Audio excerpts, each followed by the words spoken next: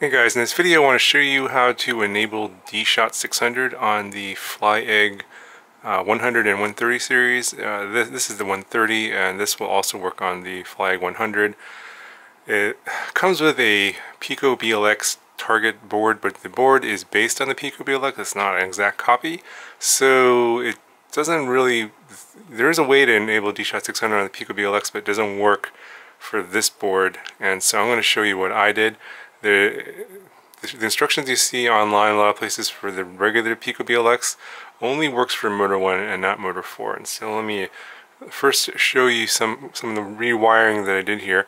The pins here on the, uh, towards the bottom of the screen here are the motor wires plus the 5 volt and ground for that powers the flight controller. And uh, the pin to the right here the little yellow cable on it is motor 1 and one over here on the left is motor 4. So in the instructions online you'll see that to enable motor 1 to spin on under D-Shot 600 you have to connect motor 1 to the PPM pin and that wire goes underneath here to the other side over here which you can't really see so I'm going to put a photo up here of what that pin looks like. It's the one to the furthest to the right next to the screw here.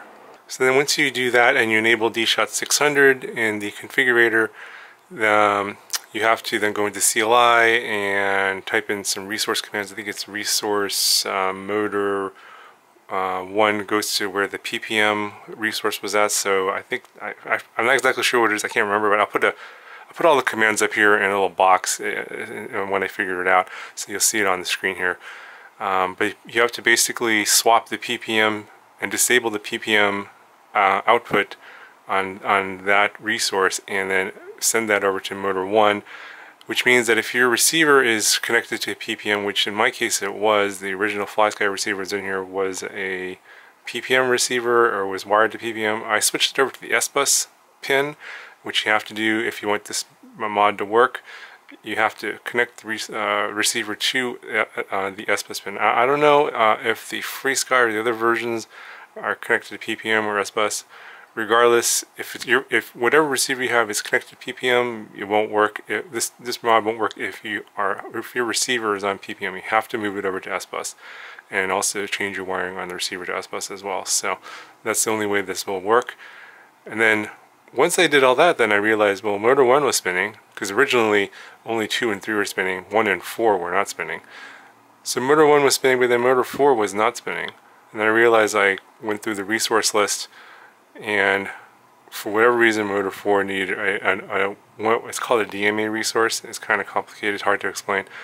So in order to, to get motor 4 to spin, you have to re rewire the motor 4 output to the LED pin, which is see this little uh, yellow cable here It's looping these two pins here. That pin right there used to be connected to the LED uh, strip in the back here. So you have to disable LED strip and dis and disconnected it. So I disconnected this and it's no longer functional. And then uh, you basically bridge the LED pin to the motor 4 output pin here. And then you go into the CLI and then whatever resource the LED, LED pin was using, you now send that, uh, remap that to the motor 4 pin or the motor 4 output. And so again, I'll put all the commands up here that you have to put into the CLI and then reboot your flight controller. And at that point, uh, all the motors will spin under D-Shot 600. So you have, so one, you have to um, not use PPM for your receiver, and then two, you have to basically give up your LED strip. This um, I couldn't get to work without getting rid of LED strip. Now, there might be a way to rewire it some other way and still have your LED strip working. I wasn't able to figure it out, but doing those two things, I got all motor, all four motors to work, and it works great on D-Shot 600. So I'm gonna go ahead and I'll put a little uh, listing of all the little CLI commands you have to put into the um, flight controller to get this to work, and then obviously you saw the photos for the wiring that you have to do to get the motors to all spin. So I hope that helps you guys out. Let me know if you guys have any questions, and I'll talk to you guys in the next one.